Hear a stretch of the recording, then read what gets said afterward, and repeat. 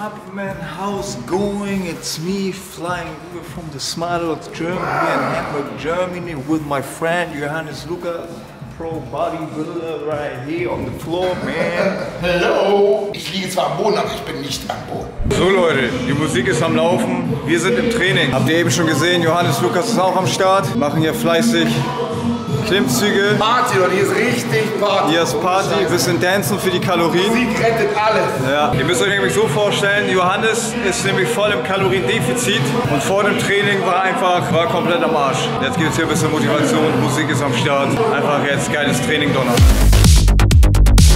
Er heißt nicht umsonst Flying Uwe, ne? Come on, Flying. Hab schon zwölf gemacht? Ja, extra nochmal für die Cam, ja, aber das geht noch. Ja! Oh yeah. Beim letzten Mal, weiß nicht, ob du genauso schwer warst, aber jetzt siehst du schwer aus. Du bist auf jeden Fall besser in Form. Leute, ich habe heute wieder den Pump meines Lebens. Nach der Rückentherapie, ich fühle mich so Bombe, weil wir den Ursprung gefunden haben. Ich gehe ich geh so aufrecht wie ein König, das glaubt ihr gar nicht. Guck mal die Form. Guckt euch das an, Leute. Was ist los? Ich fühle mich so gut. Es fühlt sich so geil an. Johannes hat seinen Griff mitgebracht. Guck mal, den kann man schön individuell einstellen. Das ist was für die Biomechanik hier.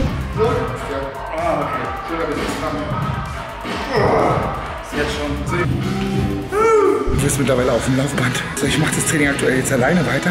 Uwe hat sich aufs Laufband verkrümelt. Ich will euch eine Sache sagen. Wenn mich irgendjemand nach Uwe fragt, kann ich kein schlechtes Wort hinterlassen.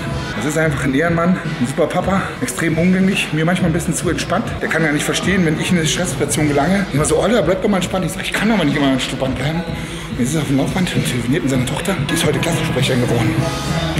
Und hat sie ihm ganz stolz berichtet. Und ist Papa stolz? Klar, oder? Überleg mal die sechs, ne? So.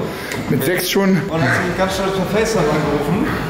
Ich sag, echt? Und sie hat Geil. 14 Stimmen hat sie bekommen. Ah, krass. Also ist jetzt schon eine Anführerin. Warst du, warst du auch schon so? Ich war früher auch Klassensprecher, aber ich war erst in der äh, dritten, vierten Klasse. so. Erst. Ja, bei mir war das früher anders. In der ersten, zweiten, dritte war so normale Schule und Ja. siebte, achte, das war so, auch so ein Typ, der gemobbt wurde. Weißt du, ich hatte viele Pickel. Ach so, ach so, krass. ich, ich hatte nur Müllklamotten, meine Eltern waren Drogen. Schreibt mal in die Kommentare, ob ihr auch gemobbt worden seid. Und das war eine Dann schreibt in die Kommentare, ob ihr schon mal gemobbt sehr habt. komische, krasse Phase. Und dann aber, genau in der gleichen Klasse. Kam der Turn. Genau, dann kam der Turn. Da habe ich mit Kampfsport angefangen. Hab den äh, ersten dann den Arm gebrochen, als ich mit ihm gekämpft habe. Das war so ein Bodenturner, der war viel größer. Und irgendwann knallte das dann auch einfach, weißt du? Und ab da war dann sowieso irgendwie alles ein bisschen anders. Ja, ich war selbstbewusster, dann kam mein Humor zum Einfach Vorschein. mal Arm brechen, damit man selbstbewusster wird. Das ist nee, nee, scheiß mal auf den Arm. Nee, nee, nee, schon klar, schon klar. Ähm, von meiner Art her, ich habe Witze gerissen. Die, die Mädels mochten mich immer, Hast dich ich mehr getraut, ne? durch meine Art halt so. Und dann kam ich so aus mir raus irgendwann. Ja. Ja, und dann sollte ich Klassensprecher werden. Alle wollten, dass ich Klassensprecher werde. Das war ganz krass. Das ist einfach Selbstbewusstsein, ich muss jetzt meinen Bizeps noch trainieren, damit ich auch so viel Selbstbewusstsein bekomme wie du. Jetzt nochmal richtig. Moin, meine lieben Booster. Was geht? Ich bin's wieder. Euer Flying. Uwe, wie geht es euch? Ich hoffe, euch geht's gut. Hm, kurze Anmerkung für euch. Diese Flasche gibt es pro Bestellung bei Smiledogs gratis dazu. Ihr könnt vier verschiedene Farben auswählen, einfach im Warenkorb hinzufügen. Hier passen genau 2,2 Liter rein. Schön mit Johannes jetzt trainiert. So fühle ich mich dann am besten, wenn ich danach das Video abdrehe. Heute mal mit einem ganz anderen Thema und zwar Thema Hund. Ja, wenn ich mit einem Hund draußen bin, was ich mittlerweile alles erlebe, Leute, das glaubt ihr mir gar nicht. Tut mir mal einen Gefallen und schreibt mal bitte eure Erfahrungen rein, die ihr mit anderen Hunden oder Hundebesitzer erlebt habt, weil man erlebt wirklich sehr viel und auch sehr viel Merkwürdiges oder was auch gar nicht passieren sollte. Kleinstes Beispiel, ich gehe mit dem Hund raus, ihr müsst euch vorstellen, ein Weg. Ja, ein langer Weg. Ich gehe extra mit Candy, Fuß ist bei mir linke Seite und dann gehe ich auch von dem Weg nach links. Meine Erwartung ist dann, ich habe ja schon alles vorbereitet. Mein Gegenüber da hinten, der mich ja auch sieht, was macht der? Geht von seiner Seite aus rechts. Somit ist er auf meiner linken Spur. Und ich denke mir, ich bin doch jetzt schon auf der Seite. Du musst doch jetzt nur zur anderen Seite. Ich bin dann so natürlich so lieb und wechsle dann wieder die Seite und dann geht man aneinander vorbei und oft ist es dann so, dass dann der gegenüberliegende Hund dann schon voll Alarm macht und dann eskaliert das so bei dem ein oder anderen. Warum erzähle ich euch das Ganze? Ich habe noch so die ein oder andere heftigere Storys auf Lager, ähm, weil mir immer irgendwie mehr auffällt, es gibt viele Hundebesitzer, aber viele Hunde, ich bin kein Klugscheißer, ich bin kein Hundeprofi, was auch immer. Ich konnte aber in letzter Zeit sehr viel über Hunde lernen und es macht mir einfach ultra viel Spaß. und ich beschäftige mich sehr gerne mit diesem Thema. Aber manchmal fällt mir auf, so, okay, dieser Mensch weiß einfach gerade zu wenig. Und ich bin mittlerweile der Meinung, jeder, der einen Hund haben möchte, sollte irgendwie einen Hundeführerschein machen. Ja, dass man so einigermaßen irgendwie seine Körpersprache lesen kann und wie man halt allgemein mit einem Hund umzugehen hat. Folgende Situation hatte ich wieder im Hundewald erlebt. Ich gehe sehr gerne in einen Hundewald rein, der abgezäunt ist wo viele Hunde sind. Diesen Hundewald kennt Kenny schon seitdem er 16 Wochen alt ist oder so. Das ist immer eine gute Möglichkeit für Hunde allgemein einfach, ja, dass Hunde Kontakt zu anderen Hunden haben. Und man geht halt normalerweise auch nur da rein, wenn man weiß, okay, mein Hund kann auch sehr gut mit anderen Hunden umgehen. Natürlich gibt es mal den einen oder anderen Streit zwischen den Hunden, lässt sich nicht vermeiden. Es sind Tiere und da gibt es mal der eine oder andere, der einfach dominanter ist oder sein will als der andere. Ich hatte folgende Situation. Ich war mit meinem Sandkistenfreund im Hundewald. Er selber hat jetzt mittlerweile vier Hunde, davon waren drei dabei und Kenny waren dabei. Wir gehen so spazieren in dem Wald und ich merke, wie plötzlich ein anderer Hund auf uns zugelaufen kommt und an einem anderen Hund von meinem Kumpel, der hat dann schon so ein bisschen gebellt, so, äh, äh, so ein bisschen Alarm gemacht, so, ey, was willst du hier so, weil der so angestürmt kam, so. Und er hat sich dann ins Rudel eingemischt einfach. Mittendrin war dann plötzlich drinne und äh, ging dann zu meinem Hund, Kenny, ihr müsst euch vorstellen, Kenny 40 Kilo, so groß, der andere, das war so ein Boxer-Mix, ich habe keine Ahnung was, der wiegt vielleicht 20 Kilo oder so, ich weiß nicht. Und das war eine Hündin, sobald ich weiß. Und äh, diese Hündin hat sich so und das Volk bei uns gemischt in dem Moment ähm, und dann auch bei Kenny gerade zugange gewesen. Und dann habe ich bei Kenny gemerkt so, sie ging zu Kenny hin, Kenny hat sofort äh, reagiert, das ist ja schon vorher auch alles gesehen. Und dann ähm, wollte sie irgendwie dominant bei ihm sein, aber Kenny denkt sich, Digga, was willst du denn, Alter? Ich habe hier die fetten, ihr müsst euch wirklich vorstellen, Kenny hat so ein Ein, also der zwei davon. Aber eins davon ist wirklich so. Der ist so auf Sendung mit seinen fetten Dingern, dass er sich natürlich sagt, alter Mäuschen, was willst du denn von mir? So, und ich merke dann direkt bei Kenny, wenn Kenny seine, seine Hundeschnauze über den Rücken des anderen Hundes legt. Ne? Ihr müsst euch vorstellen, hier ist jetzt so der andere Hund, hier sind die Beine und Kenny macht dann diesen hier. So, und guckt dann auch ernst dabei und sehr aufmerksam. Und da weiß ich schon, ui, ich, es könnte die eine oder andere schlechte Stimmung jetzt entstehen, weil die eine Hündin hatte den Eindruck gemacht, dass sie sich das nicht gefallen lässt. Und in dem Moment rief ich schon von da ganz hinten, das war ein, also ein Paar, Mann und Frau waren das, 20 Meter weiter weg, ich sag, könnten Sie mal bitte Ihren Hund rufen, weil gleich wird's knallen. Keine Antwort kam und dann hatten die schon, dann ging es schon los. Ich so, oh nein, bitte nicht. Indem ich wusste, dass es jetzt gleich knallen wird. Ich, in dem Moment, wo ich Candy nehmen will, ging es los. Von der, von der kleineren, also von der Hündin, dann haben sie sich gefetzt. Und ihr müsst euch vorstellen, wenn Kenny sich mit einem anderen Hund fetzt, also du siehst so, es geht wirklich richtig zur Sache. Und für jemand, der sowas nicht kennt, sowas noch nie gesehen hat, äh, der kriegt schnell Panik, auch Angst. Es gab auch mal bei anderen Fällen, dass der eine Hundebesitzer auf den anderen Hund einfach eingetreten hat, wie bekloppt.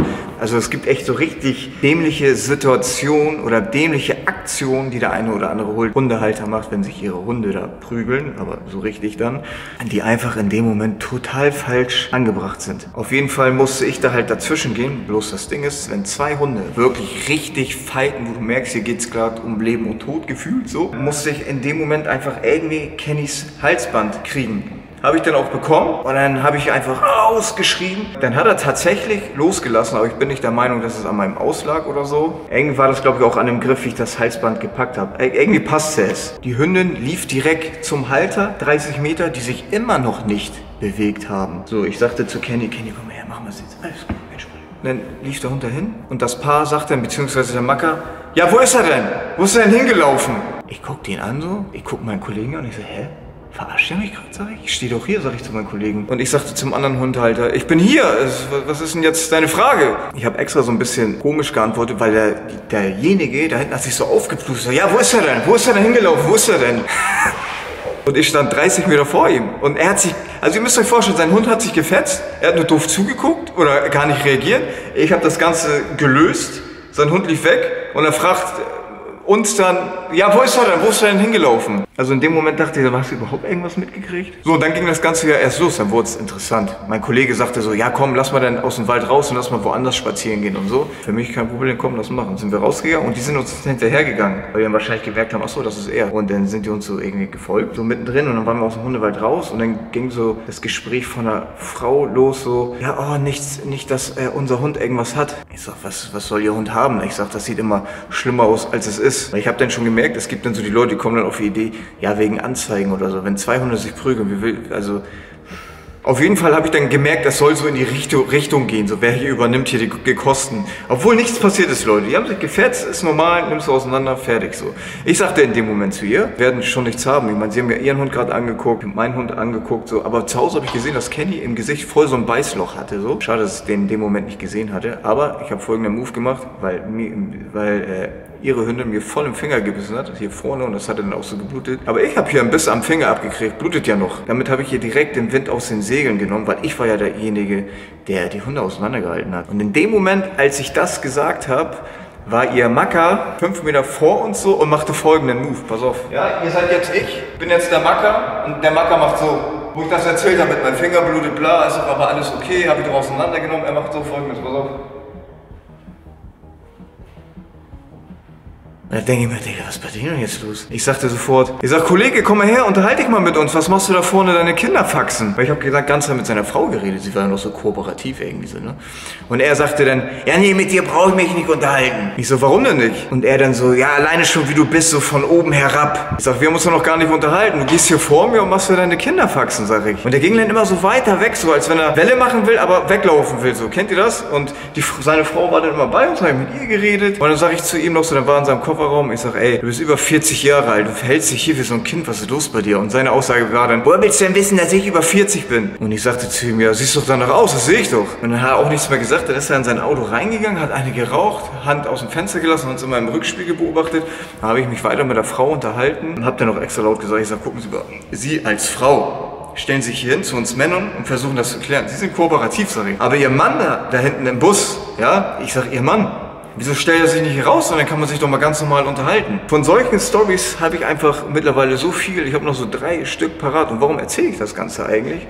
Es ist einfach so, dass gewisse Hundehalter, wo ich einfach merke, entweder achten sie nicht drauf oder geben ihren Hunden nicht diese Aufmerksamkeit oder haben auch einfach diese Einstellung nicht dazu. Sie denken, die gehen in einen Wald und ich brauche meinen Hund, äh, kann, also da kam kein Rückruf von denen, nichts in dem Moment. Und gewisse Leute, da merke ich einfach so, die sollten keinen Hund haben. Und wenn man zu unerfahren für einen Hund ist, wir hatten sogar zwei Hunde davon. Mit dem anderen hat mein Hund Kenny die ganze Zeit immer gespielt und dann kam wohl die andere irgendwie da so rein und äh, dann ging das Gefetze los. Was passieren kann, was gar kein Problem ist. Aber was ich nicht ab kann, mir nicht mal helfen, ich habe die Hunde auseinandergebracht. Der Mann guckt blöd aus dem Eimer und fragt am Ende, ja, wo ist er hingelaufen, wo ist er denn? Und macht am Ende dann noch irgendwie kluge Sprüche und kriegt nichts geschissen. Ja Leute, das war eine Hundestory von vielen. Ähm, schreibt mir mal sehr gerne eure Erfahrungen Erfahrung bitte in den Kommentaren. Was habt ihr erlebt? Weil als Hundebesitzer erlebt man sehr, sehr viel. Ich bin gespannt auf euer Feedback. Heute war das mal ein bisschen anderes Video. Ich hoffe, ihr habt Spaß gehabt oder konntet gut zuhören. Haut rein und ciao.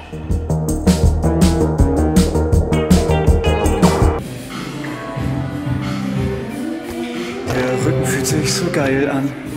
Wo ist mein Handy? Hm, zu gierig.